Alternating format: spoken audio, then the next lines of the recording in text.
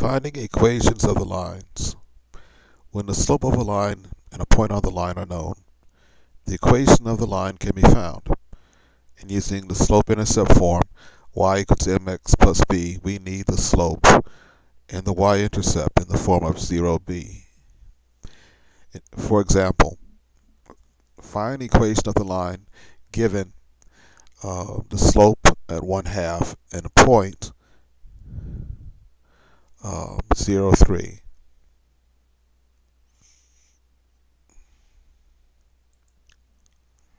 In this case, um, the point is in that form, 0b, so we have a y-intercept. So we can simply plug it in. m is equal to 1 half, and our b is 3, and we plug in. And this gives us an equation for the line. It won't always be this way. Sometimes you have to do a little manipulation to solve for B and then plug in for your M.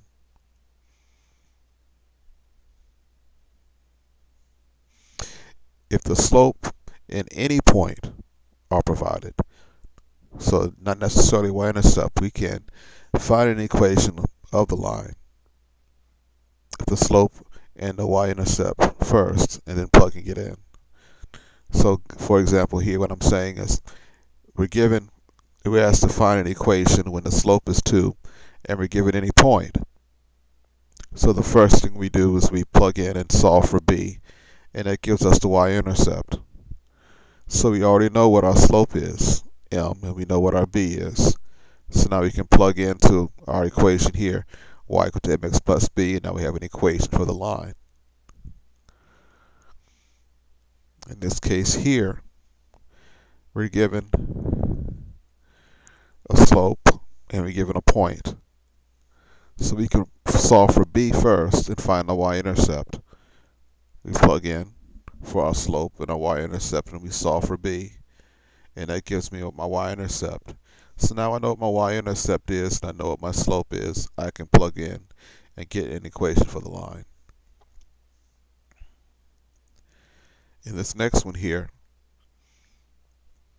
when I'm given a slope, I'm given a point, and that's for an equation of the line. I go through the same thing again. I plug in and my my slope and one point and my point, and I solve for the y-intercept. It gives me my y-intercept, and I already know what the slope is. Now I have an equation for the line. Next one here. They ask us to find an equation of the line given two, two points and I don't have a slope. So I have to create the slope first and then find the y-intercept and then I can get an equation for the line. So I plug in my two points and I find my slope. So I know what my slope is and then I find my y-intercept. Now I find my y-intercept so now I can plug in for my slope and my y-intercept, but there's my equation for the line.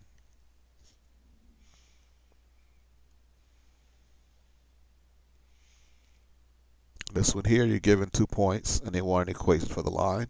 So use your slope formula here and you find your slope.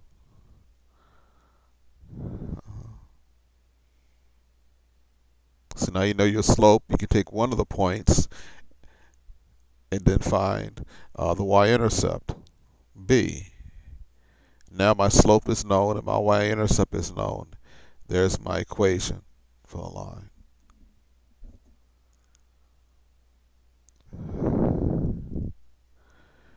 This one here, find the equation of the line given two points. So we can find our slope first. Then we can plug in here using a, point, a slope and a, one of the points. Okay. And this gives me my my y-intercept. So now my slope is known and my y-intercept is unknown and there's my equation for the line.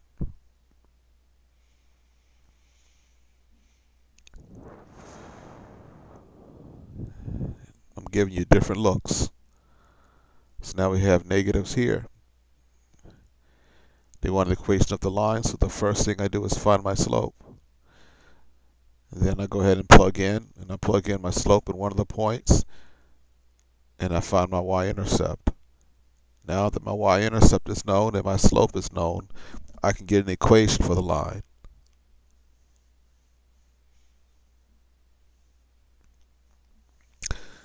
Okay, find an equation for the line here. So the first thing I do is I find the slope. When I plug in for my slope, I get an undefined slope. Since the slope is undefined, the equation of the line is going to be x equal to 3.